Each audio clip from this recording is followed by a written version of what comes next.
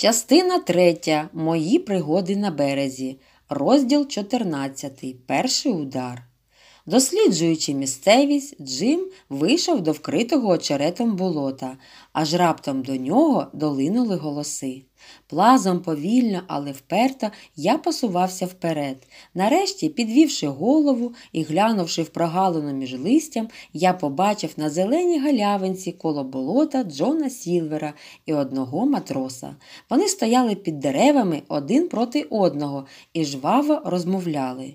Їх палом палило сонце. Сілвер кинув на землю свою трикутку, і на його зверненому до співбесідника широкому і гладкому обличчі, яке лисніло від поту, відбивалося майже благання. Братчику, казав він, та це ж тим, що я тебе дуже шаную, ну як ти цього не втямиш? Та коли б я не любив тебе всією душею, хіба ж став би тебе застерігати?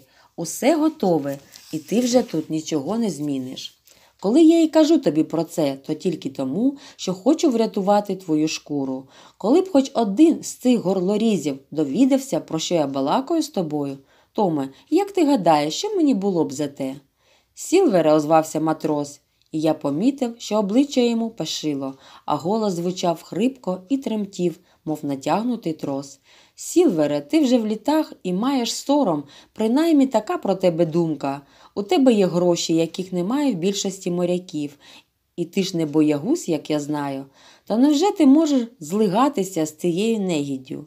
Та ні, цього не може бути. Присягаюся Богом, я радше дав відрубати собі руку. Раптом якийсь галас перервав йому мову. Я побачив одного чесного моряка в нашій команді і саме в цю мить почув про другого такого самого. Здалека від болота пролунав гнівний, пронизливий крик людини, потім ще один і трохи пізніше несамовитий протяглий зойк. Луна в скелях підзорної труби повторила його кілька разів.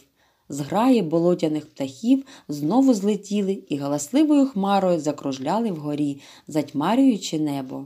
Довго ще цей предсмертний зойк бринів у моїх вухах, хоч навколо знову настала мертва тиша, яку порушували тільки лопотіння пташиних крил та далекий гуркіт прибою. Том здригнувся, мов підостережений кінь, але Сілвер навіть оком не змигнув. Він стояв нерухомо, спираючись на милицю і стежачи за своїм співрозмовником, як готова до стрибка змія. Джоне, сказав моряк, простягаючи до нього руку. Геть руки. гаркнув Сілвер, відстрибнувши вбік так прудко і спритно, мов натренований гімнаст. Гаразд, Джоне Сілвере, я заберу руки геть, коли ти цього хочеш, відповів матрос. Та це тільки твоє нечисте сумління страхає тебе. Але заради всього святого скажи мені, що там сталося? Що сталося? перепитав Сілвер, посміхаючись недоброю посмішкою, але і насторожено. Його очі на широкому обличчі здавалися не більшими за вістря голок і блискучими, як скляні скалки. Що сталося, оце, мабуть, Елен. Цієї миті бідолажний Том виявив себе справжнім героєм. Елен, вигукнув він, пухом йому земля, чесному морякові. А ти, Джоне Сілвере, ти довго був моїм товаришем, але більше ти мені не товариш. Може, й доведеться мені померти, як собаці, але я не зраджу свій обов'язок. То вбий і мене, коли хочеш, але знай, що я зневажаю тебе. І з цими словами хоробрий моряк обернувся до кухаря спиною і рушив до берега. Та йому не судилося відійти далеко.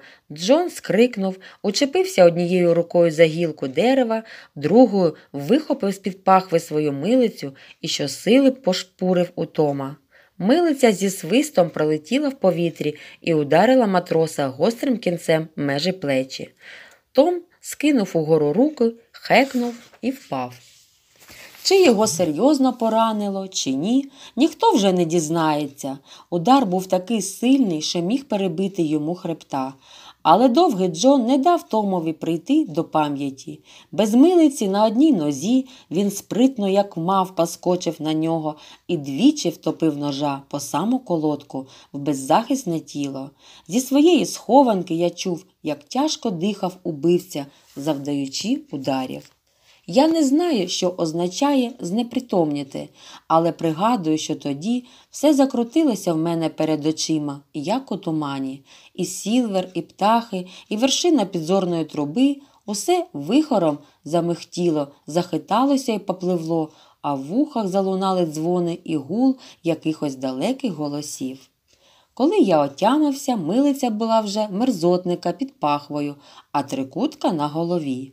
Перед ним на землі лежало нерухоме тіло, але вбивця, не звертаючи на нього ніякісінької уваги, спокійно витирав жмутком трави свого закривавленого ножа. Ніщо навколо не змінилося, сонце так само нещадно пекло, повите опарами болота і високий шпиль гори, і не йнялося віри, що тільки ми тому на моїх очах сталося вбивство і трагічно увірвалося людське життя.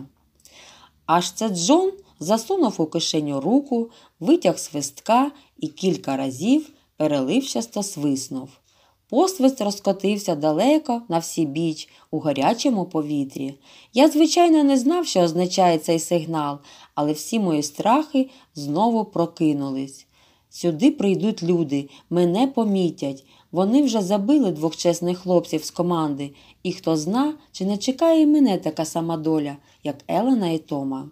Не гаючи більше ні хвилини, я обережно виповз із чагарнику і гайнув у ліс, де дерева росли не так густо.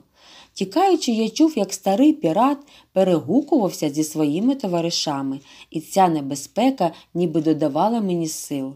Ледве вибравшись із хащі, я побіг так швидко, як зроду не бігав, не вважаючи, куди біжу, аби тільки далі від убивць. Страх мій наростав і нарешті перетворився на якесь божевілля.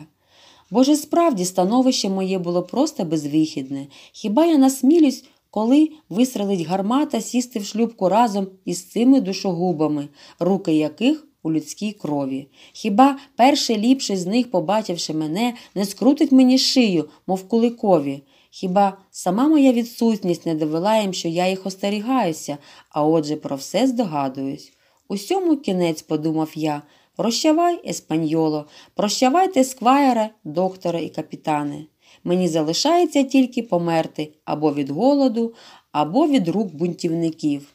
Тим часом я біг усе далі, не помічаючи місцевості, і незабаром опинився біля підніжжя невисокого пагорба з двома шпилями, але цю мить новий переляк прикував до землі мої ноги і змусив серце завмерти.